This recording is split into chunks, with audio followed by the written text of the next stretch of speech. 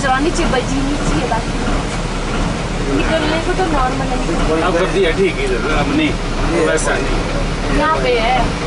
यहाँ पे। ये रोक रहा है। ना रोक नीचे है